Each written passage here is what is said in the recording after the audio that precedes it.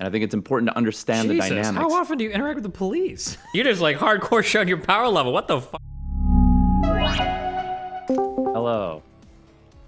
Oh, where'd you guys come from? Why'd you guys both join? What's up? ambushing you.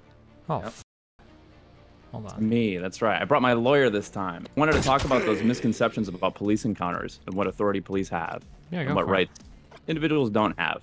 Misconception number one cops have to tell you why you're detained. The reality is, cops do not have to tell you why you're detained constitutionally. I should I should mention that this is all constitutional. Extra Mm-hmm. protections or requirements may apply on a state or municipal level, or it may be like precinct policy or something like that. But I don't think the station policy is terribly like legally binding, if at all. Pisco, are you? Do you have? Uh, yeah.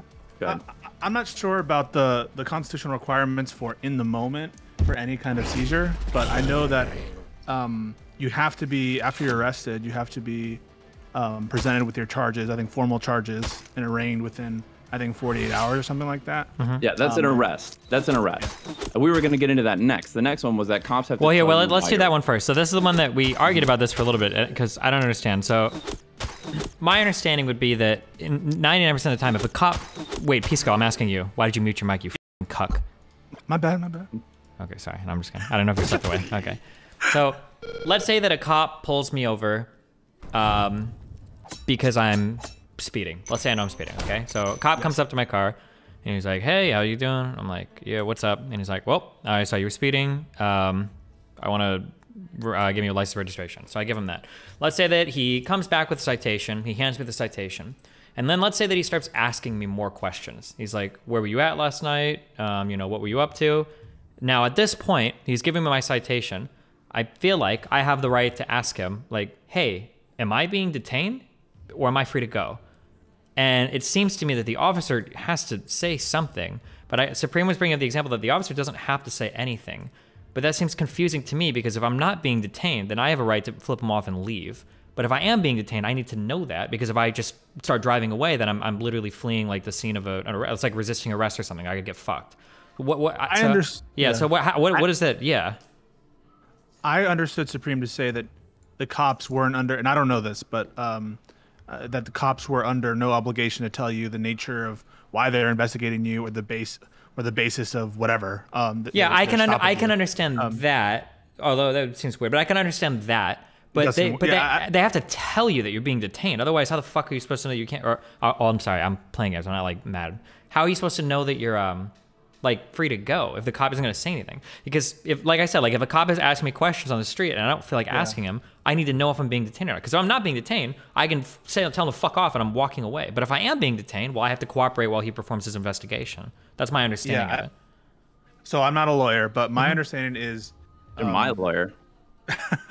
well, until I pass the bar and and you know I'm studying the criminal procedure part of the bar right now, so you know, Mm-hmm. my information I, I'm reading about this stuff, but um, again, I'm I'm not a criminal defense lawyer. I th- think that um, it, whether or not they tell you that whether or not you're stopped or seized will play into the, the analysis of whether or not you are in a custodial situation for purposes of the Fifth Amendment um, Miranda rights. And obviously, uh, I think if you ask them whether or not you can go, um, it might. I I don't know if that's constitutional or whether or not it's police policy or state law. Uh, for the most part, I think it's it's practice for for cops and police officers to tell you whether or not you're stopped, uh, whether or not they can put Detain- it whether you're like- detained, right? yeah, Yeah. uh, whether or not you're seized for constitutional purposes, and that would be under a, a quote unquote Terry stop or um, in a full custodial arrest. Yeah. Okay. So don't- otherwise, you wouldn't know. yeah, because then otherwise, like, yeah, because the example the Supreme was giving that I was having trouble with is if the cop the cop doesn't have to answer, he might just say nothing. So like if I'm like asking oh, a guy like, cops can lie. No, no, no, no, no, like if you would ask a cop, Whether you're being detained. yeah, am I detained or am I free to go? That the cop might just say nothing, but I don't know what the I would just leave then, like that. But that seems weird. They would like shoot you in the so- back or So if you leave at that point, if the cop is is trying to detain you, I imagine they would say, "Stop! You're not free to go." But well, they're telling you you're being detained, right? At that point because what okay here's what it comes down to by the way if this gets like spirited or spicy or whatever and like we start calling each other dumb fucks i don't care i, Oh, I I'm not gonna call you dumb fuck. I just say fuck sometimes, but I don't want you to think I'm like pissed off or whatever. So no i don't i don't think so i had fun with the last conversation okay, okay, okay, gotcha. but um No, I think what it comes down to is that in, in court, you just have to be able to establish that you reasonably did not feel free to leave. Like, if there's body cam footage, for example, and you ask, "Am I free to go?" then uh, and then they don't say anything, and you try to walk away, but they try to stick you with resisting charges or something like that, then you can try to establish the defense that it's reasonable that I felt free to leave because I asked them if I was, and they didn't answer. Yeah, and I can understand that, but the issue that I was running into was you made it sound like you can never really know, so you should err on the side of caution. But erring on the side of caution might mean, but I think we kind of clear this up. Erring on the side of caution might mean allowing him to perform an investigation that he doesn't need to. You might not be detained. You might be able to go. Well, okay, we're gonna get into that, and I want to get into that. Oh yeah, sure. Okay, yeah, go, okay, we can Sorry. go forward into that. Okay. But ge- I guess so. Um, Like generally speaking, if a cop has you detained, he will probably tell you if you ask him. He's not just gonna like stare at you and say nothing. I'm then... I'm fair. I'm very confident that there is no legal requirement constitutionally that a cop ever has to tell you that you are being detained, even if he intends to detain you. I'm not sure about that. That that could be the case. I know that for certain states, like in New York, even to approach you, uh, there's a there's like level one, level two, level three, level four, and cops need to have like rationales, which you know reduce in difficulty the lower you get down to even im- approach you and ask investigatory questions. So if if it's not constitutional, there and we have to be careful what we're talking about. Are we analyzing whether or not um, they have to tell you for purposes of charging you with like an obstru- obstruction kind of offense? Are we analyzing it for purposes of whether or not Miranda attaches to you? And so I think it's important to s- sort of get clear what are we talking about? Are we are we doing this to fire the cop? Um, why are we um, asking the question about whether or not the cop needs to tell you the basis? But I'm sure a lot of state and local law probably fills in the gaps So- here that the Constitution might. If you don't mind, when I was reading up on this, um, Mm-hmm. I was reading on Nolo. I don't know if that's a, a source that I should, uh, you know, uh, you know, be communicating about or something like that. But apparently, um, the New York protection, as I said earlier, like this is we're speaking constitutionally, and extra protections may apply state or city level. Uh, as far as I, I, I was reading, like it's the New York stipulations requirements for police that that ends up giving people a lot of uh, the misconceptions here uh, nationwide. And I know for uh, I know uh, I'm pretty confident that in like a lot of red states, Alabama and uh, you know Georgia, Mississippi, and stuff like that, like these these protections are just completely not present. That could be true, and and realize also that a lot of state constitutional protections that'll say very similar things to the Fourth Amendment and the Fifth Amendment um, will be interpreted as more expansive than the than the constitutional standard in certain states. So we shouldn't be. Uh, it could be the case that Supreme is correct about whether or not cops have a constitutional obligation to tell you whether or not you're you're under arrest. Though keep in mind, if they keep paying, playing tricks on you and keep lying to you or, or doing whatever, we start to get into areas where there could be due process concerns Mm-hmm. if you were to say something. Um, if they're like tricking you too much, um, stuff like that with, with um, kind of interrogations and admissions. Mm-hmm. Yeah, So- that so because yeah, that's I- when I and again I'm going to be very careful not to count Dankula myself here. But in all of the uh, in all of the interactions that I've seen with cops, when there are cops that are trying to ask questions, and you run into those people that are like really strict on like I know my rights, blah blah. When somebody asks over and over again like Am I being detained? Am I being detained? Eventually the cop will be like You're not. You can leave, and then the person will just leave. And that seems to be the case. Like I don't think they can like string you along for like whether or not you are actually being detained for the purpose of investigation. Is my understanding. We're gonna get into that, but Alright. um, but uh, okay, we'll just move on to the next the next conception. Cops uh, must read you your Miranda rights when you're being arrested. Do you have the right to remain an attorney. And Yeah, that's, no. that's the misconception. the reality is that cops never actually have to read you your Miranda rights. Uh, the only reason that they would read you your Miranda rights is if they intend to question you as part of an investigation and they want to admit uh, the results of that questioning into court.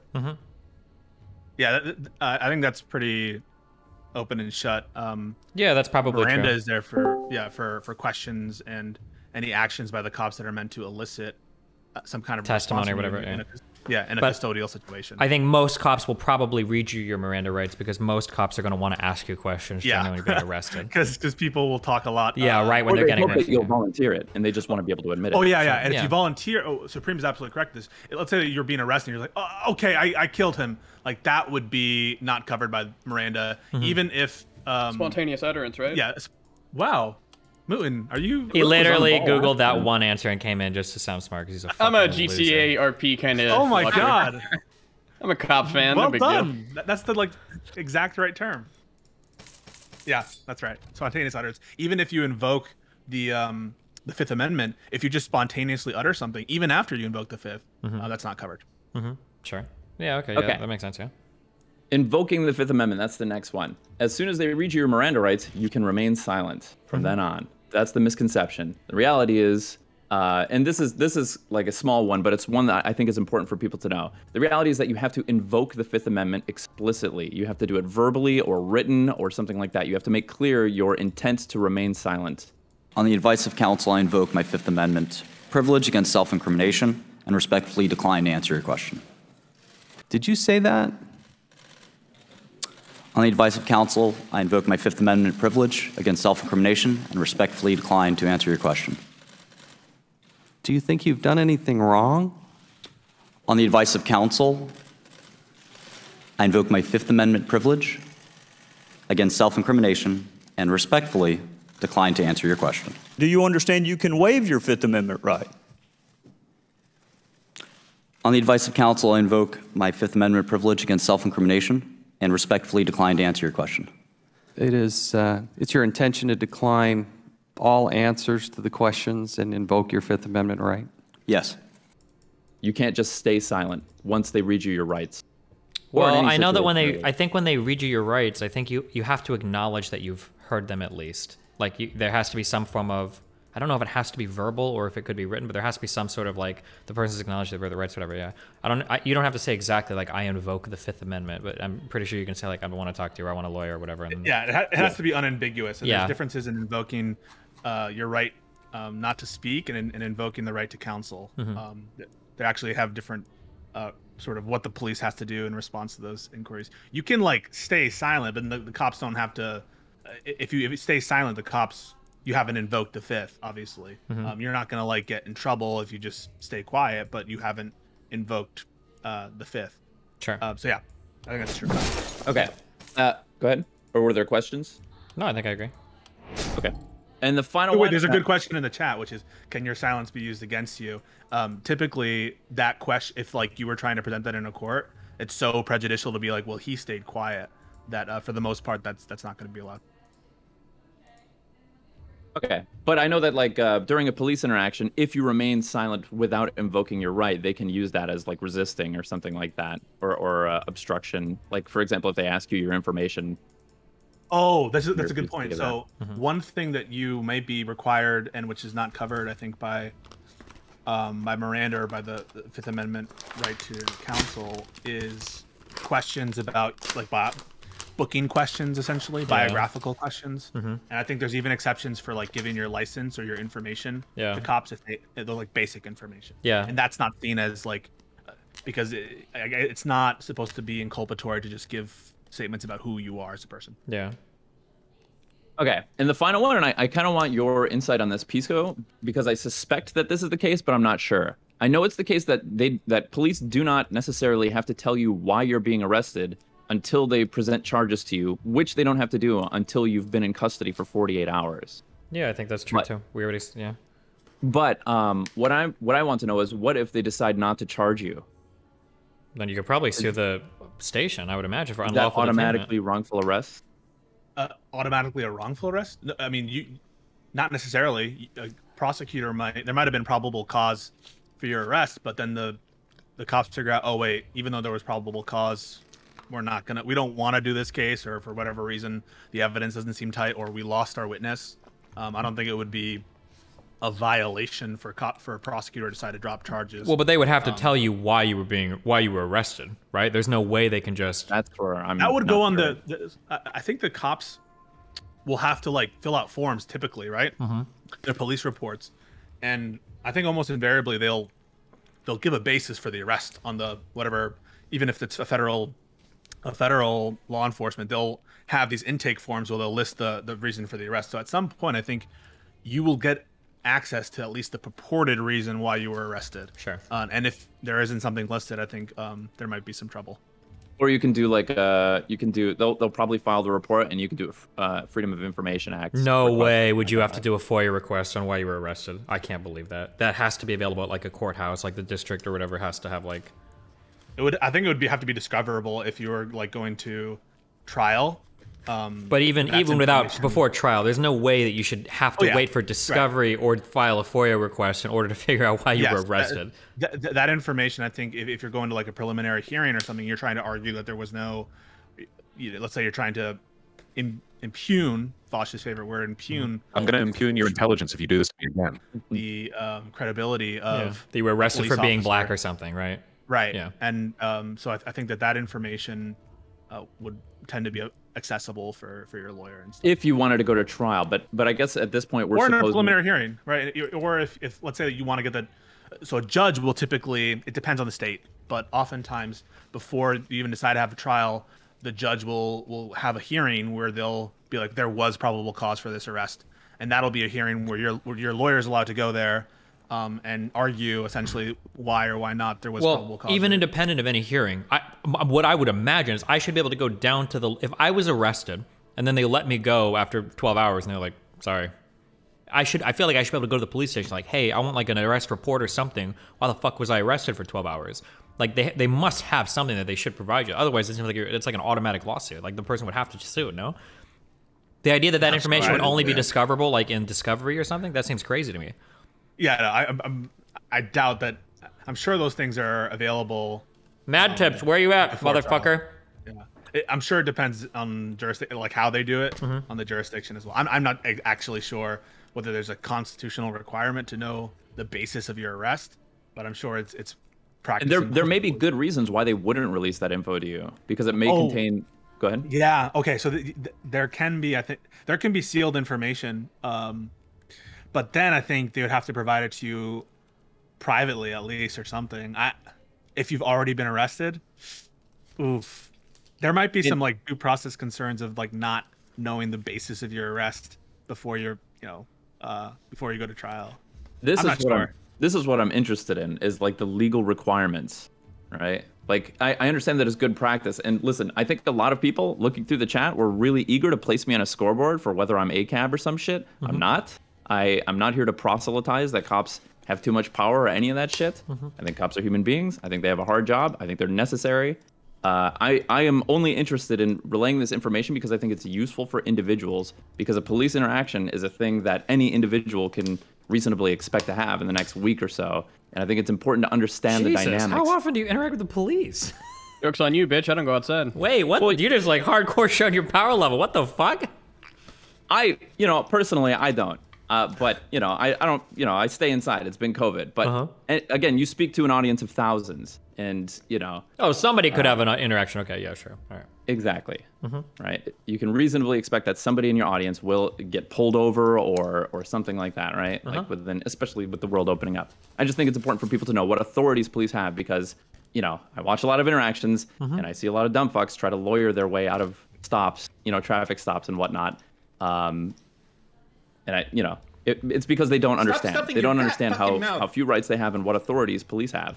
And you know, again, not here to proselytize that police have too much authority and that people have too few rights. That's not. I'm I'm so far from being able to. It feels you to me like in the overwhelming amount of stops, though, people don't realize how many rights they have. It seems like it goes too far in the other direction. Unless you're running into like one of those sovereign citizen dudes. I think most people give up way more. I than was they about have to ask you about that, uh, Destiny. Um, so, so one is, I, I think I agree with you, Destiny, that people will talk way too soon, and Yes. without realizing that. Mm-hmm. and they- people they don't realize it. to. Like a cop doesn't. A cop.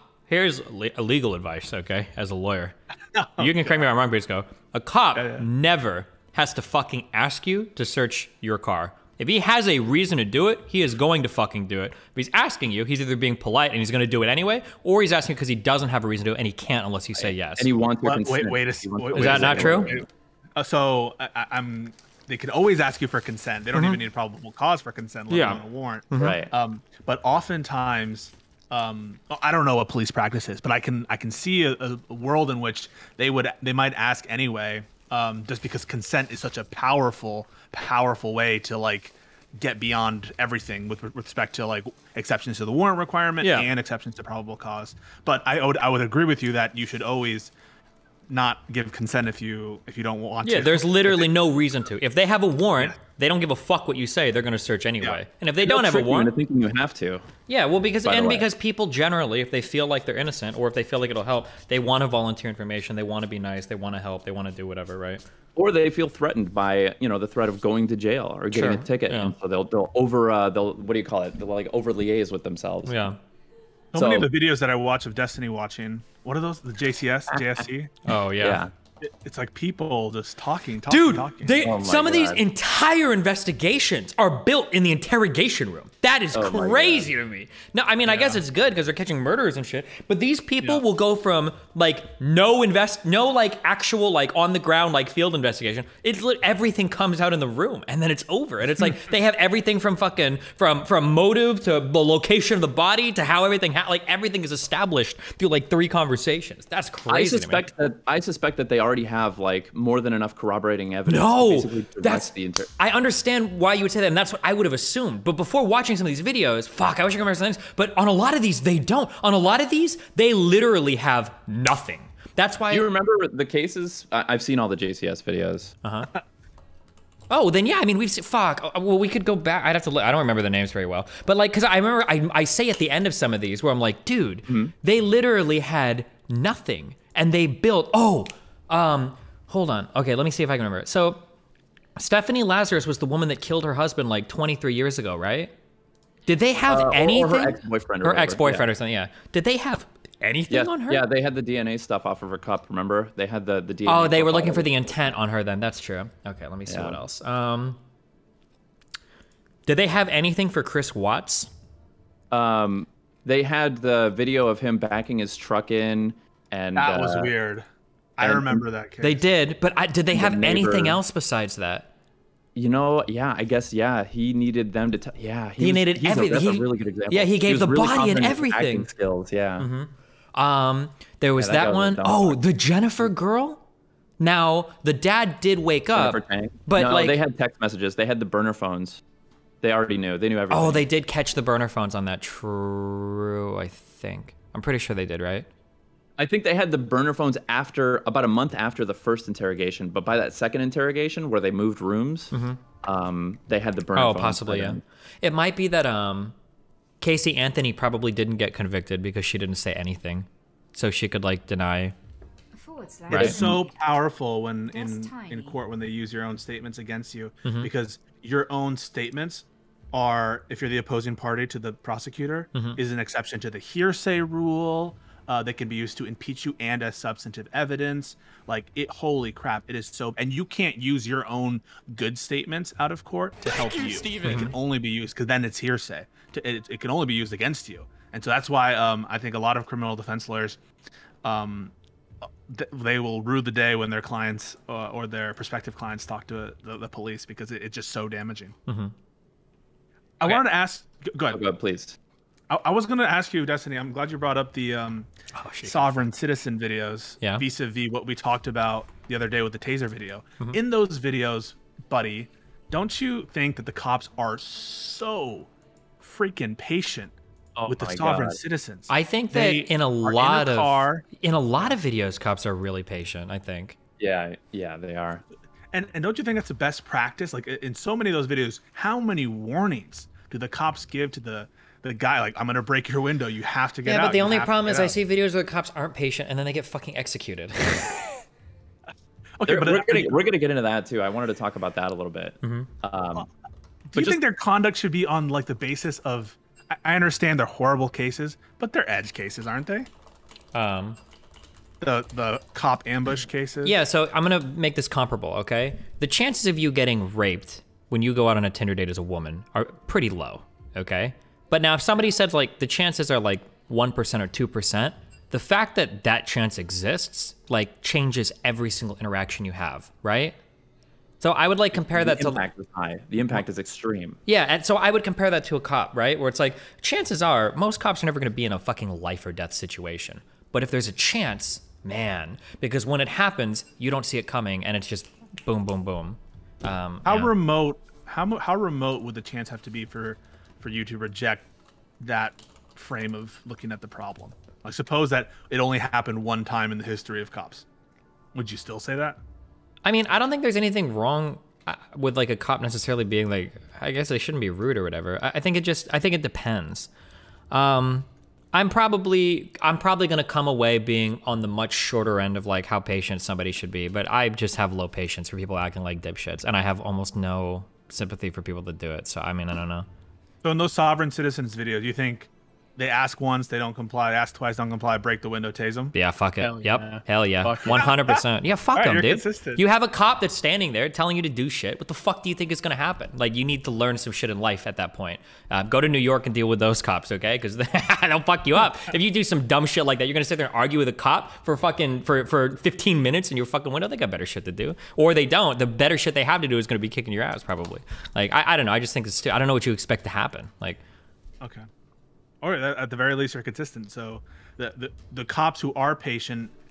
Um, have you ever seen this video of like a couple guys? They're like carrying their guns in protest of or something, or they're they're. I think I they're probably know. And then the cop shows him his MP5 in the backseat and everything. Yeah. Yeah. Mhm. Yeah, yeah, yeah. What do you think of that situation? Isn't that like the right style of policing? I understand in that case, like they're not That's uh, yeah, that sounds perfect. However, um, I think that cop did everything correct though. He that that cop that guy had the perfect balance of like friendly but firm, and it's really hard to strike that balance. That's why most most cops come off as like dicks because they're just like power tripping assholes. But I think that cop was incredibly respectful, very polite, but like very like to the point. Like, am I being detained? Yeah, you are. I need to perform an investigation, make sure your weapon is legal, blah blah blah, and then bu- and then boom boom boom. That guy, yeah, that guy handled that perfectly. I think, yeah. Am I being detained? Yeah. Okay, well, I'm... Spread your arm out, please, like this. Both of them straight out. Excellent. Go ahead and turn away from me for a second. Excellent. But you know I don't consent to any search and seizures. I understand that. I'm not seizing anything. I'm going to Well, However, that's easy for us to say because those kids were being like super cooperative. They were like chilling and they were like just chatting and yeah. And there's a lot of discretion that goes into police work. So the cop could probably, I'm sure he like sizes these kids up half before he even gets up to them, just how they look, what they're doing, and everything, right? What do you mean by that? As in, like, cops probably make a lot of value judgments in terms of like the types of people that they interact with and the situations that they're in. So, like, if you see like two kids that look like nerds walking up and down the streets with rifles on their back, like the chance that these guys are about to be terrorists probably low. When he approaches them and starts talking to them and they start communicating back, it's probably not going to shoot it right. I, now, I'm not saying that's like a hard rule for all of this, but it all probably like factors into how a cop evaluates a situation.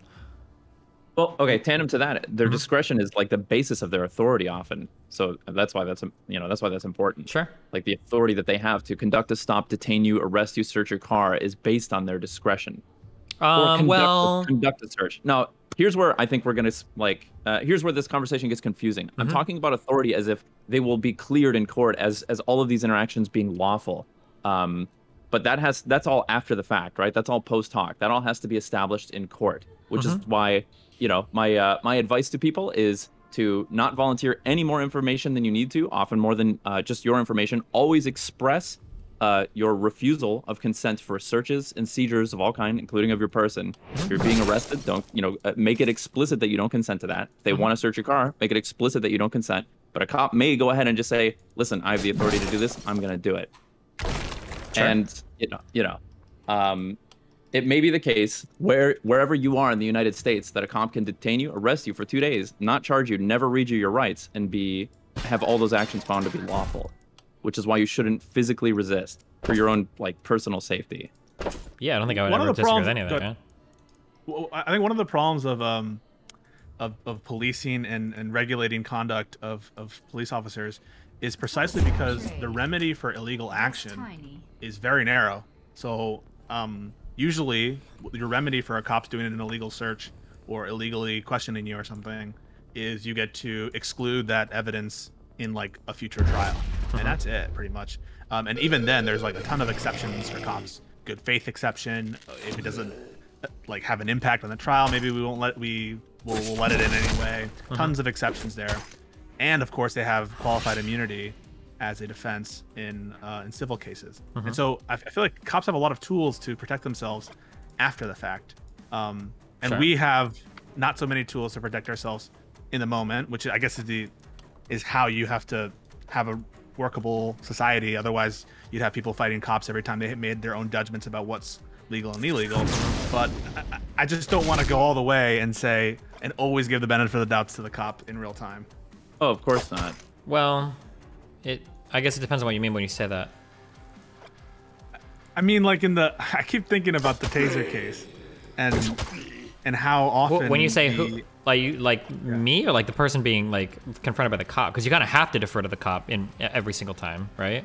Correct, but I what I mean to say is, when these stories come out about interactions with cops, I take just like you take very loosely the Twitter cuts that you see on uh, on Twitter, where it's cut and it starts at a, at a place that you think is um, misleading. I take at face value the cops' own self-serving statements. Oh yeah, of course. basis- yeah, right. We've got body body cam footage of people like planning drugs and shit on people and whatnot. Of course. Yeah, of course. that yeah. shit's wild. yeah. Is that it, Supreme? Are we? That's that's really all, all I wanted to get through, and everything I can claim to know about uh, about these interactions, I get from a channel. In case you're looking for content after JCS, a channel called Audit the Audit, which does like it's just nonstop police interactions, and the channel gives like letter grades to the cops and the and the uh, civilians in the interactions, and they tend to err uh, against the cops. They tend to be quite critical of the police. So I don't know, it might be fun content for you. Might come away with uh, some more insight. But if anybody feels any kind of uh, has any extreme position on cops, whether they are, uh, you know, thin blue line people or ACAB people, watching Audit the Audit will cure you of your extreme position because there's a lot of civilians who act like dumb fucks. Uh, and I, I mean, I got a really clear picture on the fact that like even when even when people are completely in the wrong, uh, they'll they'll just do whatever they can to wiggle out of a ticket. Yep. To the point of being completely belligerent. You know, I I've learned to. You know, to sympathize with cops quite a bit from watching that channel. And Sure. there's a lot of cops being dumb fucks too. Remember to hit that like and subscribe, and don't forget the notification bell so that my videos show up right in your feed. Did you say that you have the right to be an attorney?